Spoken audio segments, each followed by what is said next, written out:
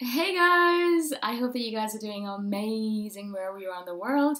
My name is Boom Shikha and I welcome you to my channel. As always, I'm so grateful that you guys are listening, subscribing, and commenting. I appreciate the support. And if you guys are interested in supporting me further, you can go to my Ko-fi link, kofi.com slash boomshikha, and give me a one-off donation if you're interested. In this video, I wanted to speak to you guys about something really fascinating, something that I actually have thought about myself, that TC, T dot C dot whatever, I have no idea what that means, but he or she mentioned uh, in a comment. And I just want to read the comment first.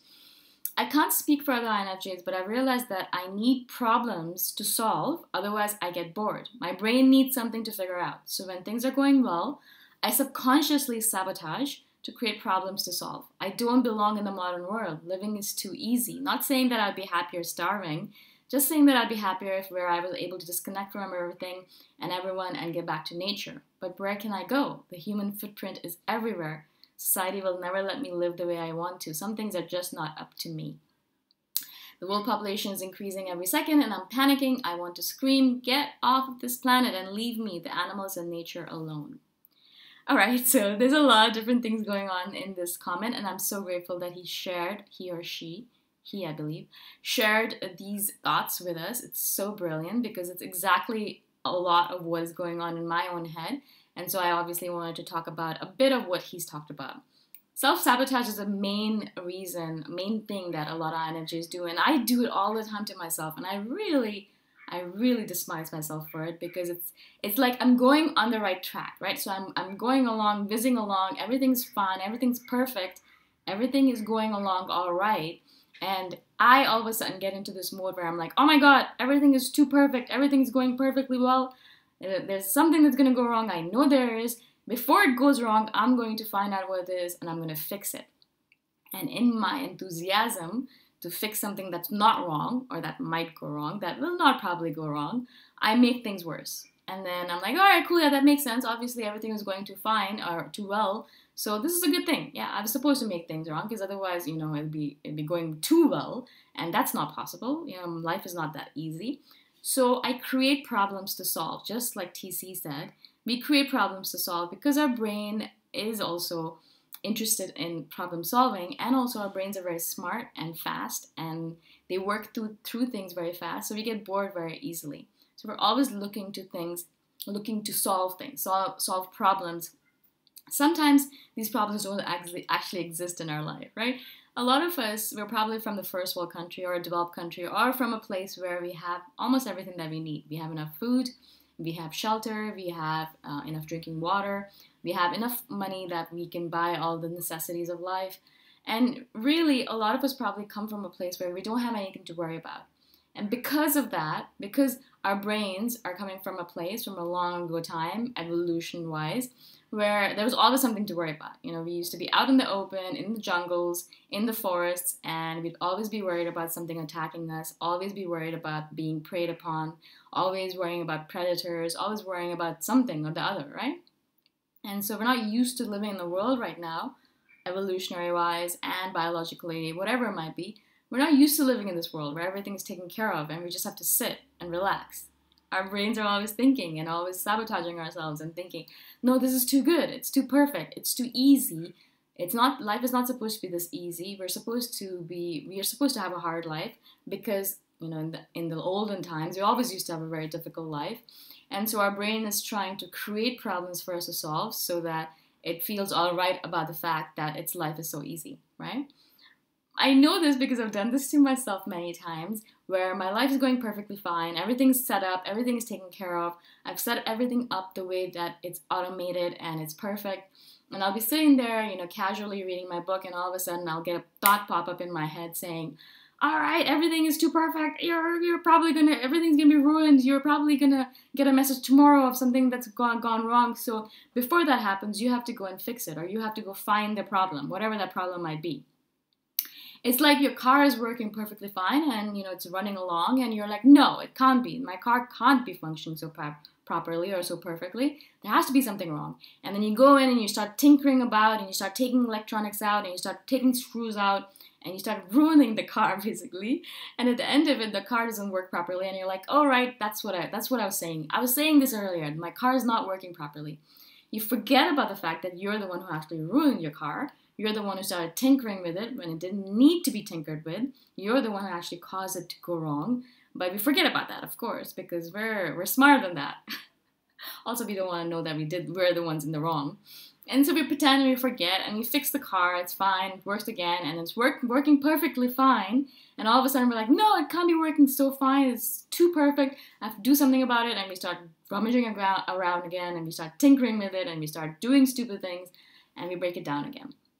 That's basically how we live our lives as INFJs. We're constantly sabotaging ourselves because things are too perfect and they can't be perfect.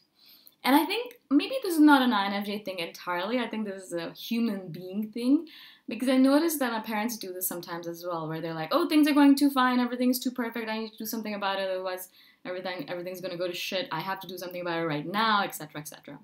And I find it very easy. Um, sorry, not not easy. I find it very funny because I think that I've taken on that idea from them as well. So when things are too easy, I get a little bit scared and I'm like, oh my god, what's gonna go wrong next? I have no idea. I should do something about it. I can't be sitting still. I can't relax. I have I can't be just sitting around reading my manga. I'm sure there's something wrong in the world, so let's go find it. Let something wrong in my world because there's a lot wrong in the real world. But something wrong in my world, let's go find it. If we can't find something, let's make something up. And if we can't make something up, let's screw something up. Let's let's make something like let's do something wrong so that we have something to fix. And so we sabotage ourselves and then we do something wrong and then we have something to fix and then we repeat the cycle over and over and over and over again like idiots basically. And i'm calling myself an idiot because i'm the bigger, biggest idiot here because i do this all the time.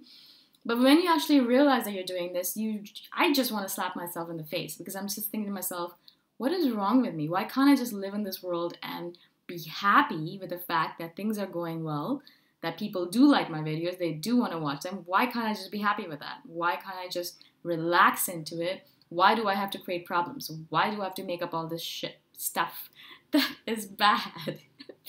I really have to stop swearing. And so I don't understand what's wrong with me in that regard. But little by little, I'm becoming more conscious of it. I am extremely conscious of it now, now that I'm talking about it, and I'm glad that I'm talking about it. Hopefully, you guys will become more conscious of it as well, because that's the first step becoming conscious and aware of the fact that you're doing these stupid things.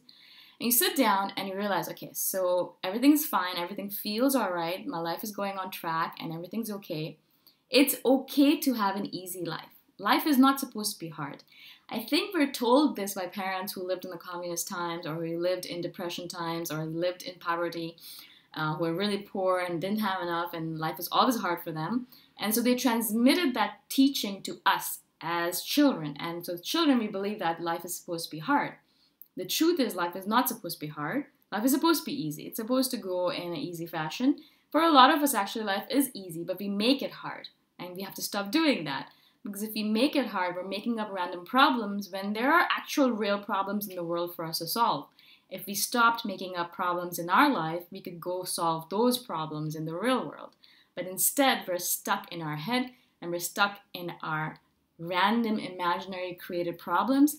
And so we're not able to really contribute to the world in the fashion that an INFJ is supposed to contribute in. That's one of the reasons why I've stopped as much as possible, sabotaging myself, and focusing on real problems. Like, what can I talk about next with you guys so I can help you guys become more and more self actualized? That's the real problem that I should be focused on. Not the fact that my life is going perfectly and I need to make up random problems so that I feel better about myself, so I don't feel like an elitist, so I don't feel like uh, guilty about the fact that my life is so easy, right? Not that. I have to make up real, I have to focus on the real problems in life, right? Because there are some occasionally, of course. So that's what I wanted to talk to you guys about. I hope that this video itself will help you become a little bit more conscious of this madness, of the fact that we actually do this craziness, and hopefully you'll stop doing it, or at least become conscious of it when you are doing it and realize that it's just foolishness. You're wasting your time. and you could be focusing it on something else, something more important. Maybe solving the world hunger crisis, not entirely, but a little bit. Or maybe the hunger crisis in your neighborhood, or the homelessness in your neighborhood, or something like that. You know, focus on the real problems in the world, in, in your life, rather than some fake imaginary problems that you're making up because you're too afraid to have an easy life. All right? I hope this makes sense. If you guys have any questions, please do message me by commenting below. And if you're interested in supporting me further, you can do that by going to my Patreon link or you can go to my Ko-fi link. Both of those links are in the description below. And I shall see you guys the next time around. Bye for now.